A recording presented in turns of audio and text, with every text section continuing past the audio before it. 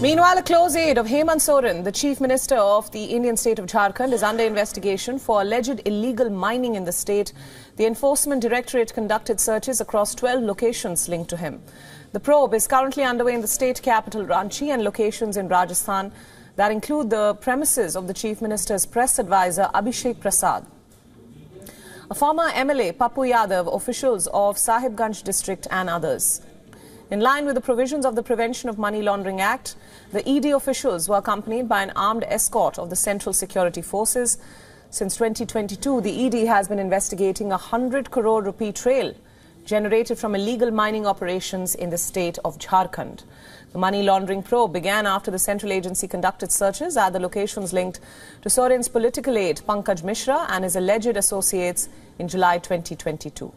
According to the ED, the evidence revealed that the funds seized from the accused came from the rampant illegal mining in the forest areas of Sahibganj.